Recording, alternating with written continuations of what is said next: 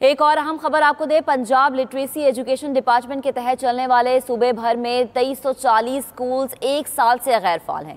Centres میں بڑی تعداد میں خواجہ سرابی زیر تعلیم تھے۔ محکمہ لٹریسی کے تحت تعلیم حاصل نہ کرنے والے چھوٹے بچوں کے لیے صوبے بھر میں تیرہ ہزار سے زائد سکول قائم کیے گئے۔ اب تک تعلیم بالغہ سینٹر میں پینتیس ہزار افراد کو بنیادی تعلیم دی جا چکی ہے۔ پنجاب کی نئی حکومت بھی دو ماہ گزرنے کے باوجود اس اہم مسئلے کے حل کے لیے کوئی واضح پالیسی نہیں دے سکی اسی پر مزید بات کریں گے اپنے نمائندے انور حسین سے۔ انور بتائی گا، دو ماہ گزر گئے، تعلیم میں تبدیلی کی بات کی جا رہی تھی، لیکن ابھی تک کوئی حکمت عملی، کوئی واضح پالیسی سامنے نہیں آ سکی۔ کیا وجہ ہے؟ یہ ایسے ہے کہ پنجاب کی جو سابقہ حکومت تھی، اس کی ناقص پالیسیوں کی وجہ سے، عدم توجگی کی وجہ سے اور فنڈز نہ فراہم کرنے کی وجہ سے صوبہ بار میں جو تعلیم بالغاں کے سینٹر سے دو ہزار تین سو چالیس وہ ایک سال سے بند پڑے ہیں اور ان میں تعینات اساتذہ جو ہیں وہ بے روزگار ہو چکے ہیں۔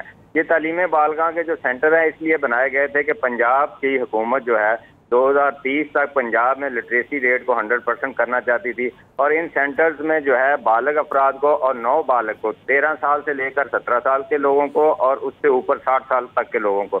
مرد و خواتین اور خواجہ سراہوں کو بنیادی تعلیم دی جاتی تھی، جن میں انگریزی کی تعلیم دی جاتی تھی، اردو کی دی جاتی تھی، حساب کی دی جاتی تھی۔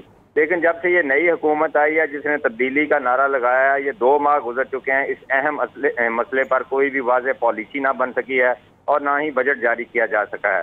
ذرائع کا کہنا ہے کہ اگر حکومت نے یہ بجٹ جاری نہ کیا تو یہ مزید بند رہیں گے اور پنجاب کا جو خواندگی سو فیصد حاصل کرنے کا ٹارگٹ ہے، وہ شرمندہ تعبیر نہیں ہو سکے گا۔ جی۔ صحیح ٹھیک۔ انور حسین سمرہ ہمیں اپڈیٹ کر رہے تھے آپ کا بہت شکریہ۔